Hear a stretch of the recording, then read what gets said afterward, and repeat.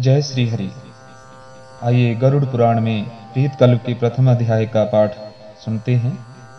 इसमें भगवान विष्णु तथा गरुड़ के संवाद में गरुड़ पुराण सारोद्धार का उपक्रम, पापी मनुष्यों की इस लोक तथा परलोक में होने वाली दुर्गति का वर्णन तथा दशगात्र के पिंडदान से यातना देह का निर्माण किस प्रकार होता है, इन बातों का वर्णन किया गया है।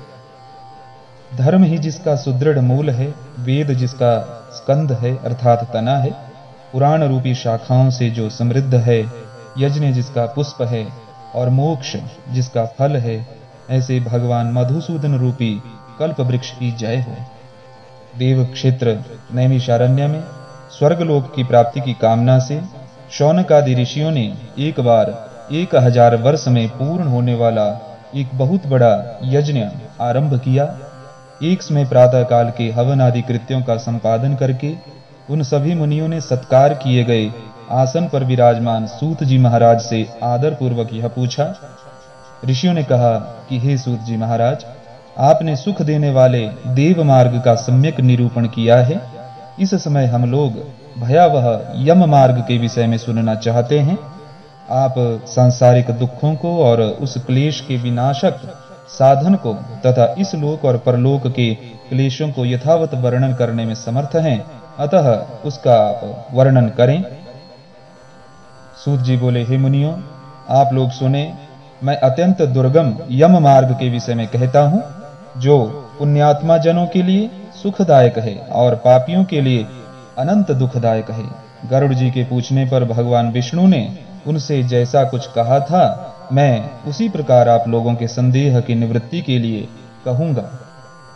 किसी समय वैकुंठ में सुखपूर्वक विराजमान परम गुरु श्री हरि से विनता पुत्र गरुड़ जी ने विनय से झुककर पूछा, गरुड़ जी ने कहा, हे प्रभु, आपने भक्ति मार्ग का अनेक प्रकार से मेरे सामने वर्णन किया है और भक्तों को प्राप्त होने वाली उत्तम गति के विषय में भी कहा है। अब हम भयंकर यम मार्ग के विषय में सुनना चाहते हैं हमने सुना है कि आपकी भक्ति से विमुख जो प्राणी हैं, वही नरक में जाते हैं। भगवान का नाम सुगमता पूर्वक लिया जा सकता है। जिवा प्राणी के अपने वश में है तो भी लोग नरक को चले जाते हैं।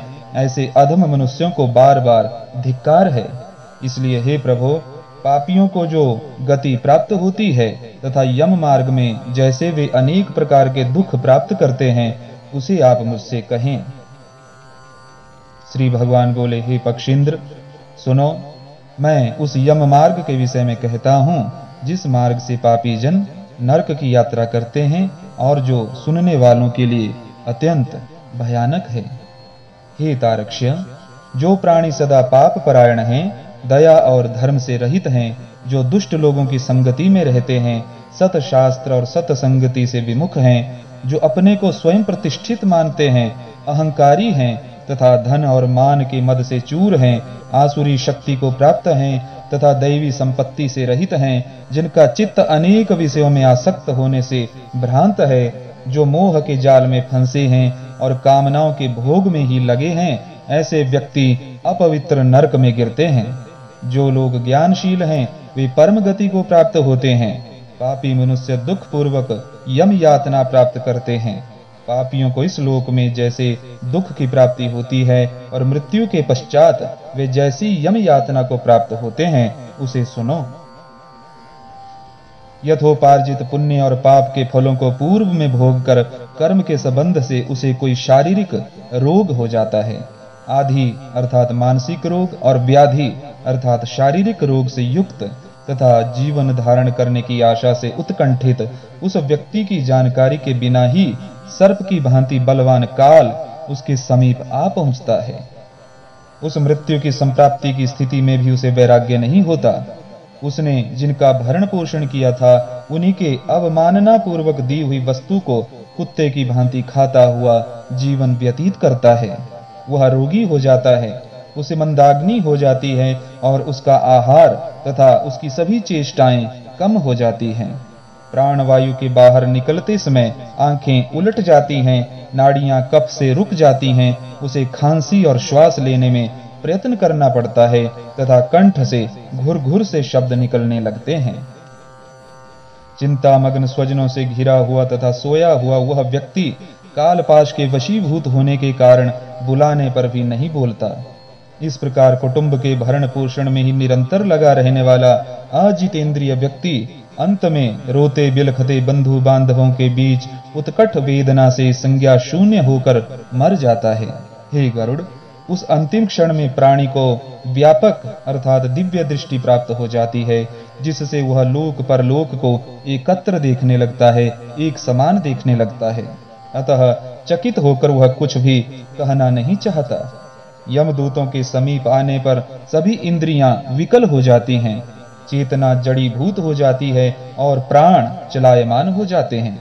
आतुर काल में प्राण वायु के अपने स्थान से चल देने पर एक क्षण भी एक कल्प के समान प्रतीत होता है और सौ बिच्छुओं के डंक मारने से जैसी पीड़ा होती है, वैसी पीड़ा का उस समय उसे अनुभव होने लगता है।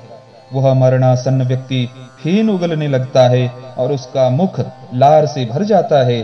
पापी जनों के प्राण वायु अधोद्वार अर्थात गुदा मार्ग से निकलते हैं। उस समय दोनों हाथों में पाश और दंड धारण किए नग्न दांतों को कटकटाते हुए क्रोधपूर्ण नेत्र वाले यम के दो भयंकर दूत समीप में आते हैं। उनके केश ऊपर की ओर उठे होते हैं वे कौए के समान काले होते हैं और टेढ़े मुख वाले होते हैं, तथा उनके नख आयुध की भांति होते हैं। उन्हें देखकर भयभीत हृदय वाला वह मरणासन्न प्राणी मलमूत्र का विसर्जन करने लगता है। अपने पाँच भौतिक शरीर से हाय हाय करता हुआ, इस प्रकार करते हुए निकलता हुआ तथा यमदूतों के द्वारा पकड़ा हुआ वह अंगुष्ठ मात्र प्रमाण का पुरुष अपने घर को देखता हुआ यमदूतों के द्वारा यातना देह से ढक करके गले में बलपूर्वक पाशों से, रस्सियों से बांधकर सुदूर यम मार्ग पर यातना के लिए उसी प्रकार ले जाया जाता है, जिस प्रकार राजपुरुष अर्थात राजा के सिपाही दंडनीय अपराधी को ले जाते हैं। इस प्रकार ले जाते हुए उस जीव को यम के दूत तर्जना करके डराते हैं और नरकों के तीव्र भय का पुनः पुनः अर्थात बार बार वर्णन करते हैं, उसको सुनाते हैं। यमदूत कहते हैं, रे दुष्ट, शीघ्र चल, तुम यमलोक में जाओगे। आज तुम्हें हम सब कुंभी पाक आदि नरकों में शीघ्र ही ले जाएँगे इस प्रकार यमदूतों की वाणी तथा बंधु बांधवों का रुदन सुनता हुआ वह जीव ज़ोर से हाहाकार करते हुए विलाप करता है। और यमदूतों के द्वारा प्रताड़ित किया जाता है। यमदूतों की तर्जनाओं से उसका हृदय विदीर्ण हो जाता है, वह कांपने लगता है। रास्ते में उसे कुत्ते काटते हैं और अपने पापों का स्मरण करता हुआ वह पीड़ित जीव यम मार्ग में चलता है। भूख और प्यास से पीड़ित होकर सूर्य, दावाग्नि एवं वायु के झोंकों से संतप्त होते हुए और यमदूतों के द्वारा पीठ पर कोड़े से पीटे जाते हुए उस जीव को तपी हुई बालुका से पूर्ण तथा विश्राम रहित और जल रहित मार्ग पर असमर्थ होते हुए भी बड़ी कठिनाई से चलना पड़ता है। थक कर जगह जगह गिरता और मूर्छित होता हुआ वह पुनः उठकर पापी जनों की भांति अंधकार पूर्ण यमलोक में ले जाया जाता है। दो अथवा तीन मुहूर्त में वह मनुष्य वहाँ पहुँचाया जाता है और यमदूत उसे घोर नरक यातना को दिखाते हैं। मुहूर्त मात्र में यम को और नारकीय यातनाओं के भय को देखकर वह व्यक्ति यम की आज्ञा से आकाश मार्ग से यमदूतों के साथ पुनः इस लोक अर्थात मनुष्य लोक में चला आता है। मनुष्य लोक में आकर अनादि वासना से बद्ध वह जीव अपने देह जिसको उसने त्याग दिया था, उसमें प्रविष्ट होने की पुनः इच्छा रखता है। किंतु यमदूतों द्वारा पकड़कर पाश में बाँध दिए जाने से भूख और प्यास से अत्यंत पीड़ित होकर रोता है। हे तारक्ष्य, वह पात की प्राणी पुत्रों से दिए हुए पिंड तथा आतुर काल में दिए हुए दान को प्राप्त करता है तो भी उस नास्तिक की तृप्ति नहीं होती। पुत्र आदि के द्वारा पापियों के उद्देश्य से किए गए श्राद्ध, दान और जलांजलि उनके पास नहीं ठहरती। अतः पिंडदान का भोग करने पर भी वे क्षुधा से अर्थात भूख से व्याकुल होकर यम मार्ग में जाते हैं। जिनका पिंडदान नहीं होता, वे प्रेत रूप होकर कल्प पर्यंत निर्जन वन में बहुत दुखी होकर भ्रमण करते रहते हैं। सैकड़ों करोड़ कल्प बीत जाने पर भी बिना भोग किए कर्म फल का नाश नहीं होता और जब तक वह पापी जीव यातनाओं का भोग नहीं कर लेता, तब तक उसे मनुष्य शरीर प्राप्त नहीं होता। हे पक्षी, इसलिए पुत्र को चाहिए कि वह दस दिनों तक प्रतिदिन पिंड दान करे। हे पक्षी श्रेष्ठ, वे पिंड प्रतिदिन चार भागों में विभक्त होते हैं। उनमें दो भाग तो प्रेत के देह के पंचभूतों की पुष्टि के लिए होता है। तीसरा भाग यमदूतों को प्राप्त होता है और चौथे भाग से उस जीव को आहार प्राप्त होता है। नौ, रात दिनों में पिंड को प्राप्त करके प्रेत का शरीर बन जाता है और दसवें दिन उसमें बल की प्राप्ति होती है। हे पक्षेंद्र, मृत व्यक्ति के देह के जल जाने पर पिंड के द्वारा पुनः एक हाथ लंबा शरीर प्राप्त होता है, जिसके द्वारा वह प्राणी यमलोक के रास्ते में शुभ और अशुभ कर्मों के फल को भोगता है। पहले दिन जो पिंड दिया जाता है, उससे उसका सिर बनता है।